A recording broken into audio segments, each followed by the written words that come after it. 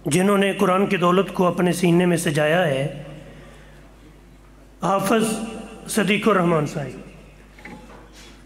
आज के हमारे आखिरी मेहमान शेखुल हदीस हज़रत मौलाना कारी मोहम्मद रमज़ान साहब शेखुपुरी से गुजारिश है अपने हाथों से। और यूसुफ शेखुपुरी साहब भी, इमरान अनफी साहब भी, इमरान अनफी साहब भी।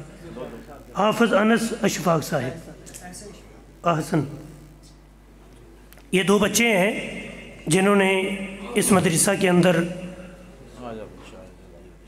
पूरा कुरान मजीद हिफ्ज़ किया है। आज आपके सामने इन बच्चों की दस्तारबंदी की जा रही है। अल्लाह ताला इनको बामल आलम दीन बनाए और अपने वालदेन के लिए सुकून का, चैन का ज़रिया बनाए और इनके वालदेन को, इनको तमाम कराम और आप लोग दिल की अता ग्राइयों से मुबारकबाद पेश करते हैं।